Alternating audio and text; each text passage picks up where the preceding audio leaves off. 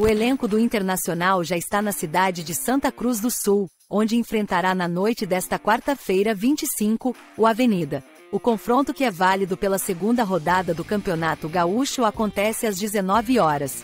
Torcedores marcaram presença em frente ao hotel em que o elenco está concentrado para o compromisso dessa noite.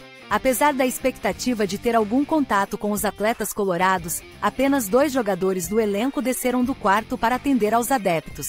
Os atacantes Alexandre Alemão e Pedro Henrique foram até os torcedores, onde conversaram, posaram para fotos e distribuíram autógrafos.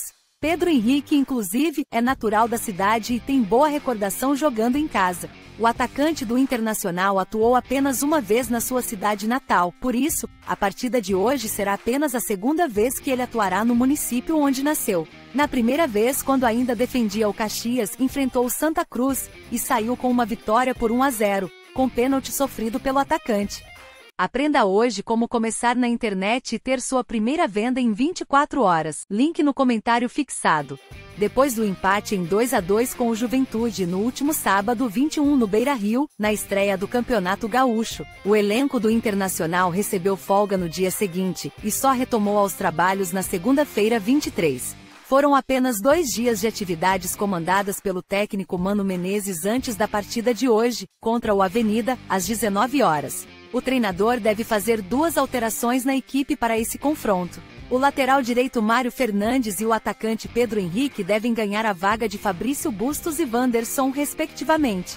Apesar de ter realizado apenas trabalhos na academia do clube nesses dois dias de treinos, o zagueiro Rodrigo Moledo deve iniciar a partida. Por outro lado, Gabriel Mercado segue fora por lesão na panturrilha. Outro desfalque da equipe é o recém-contratado John. O goleiro ainda realiza um trabalho de reequilíbrio físico pelo longo período de inatividade e não estará à disposição de Mano.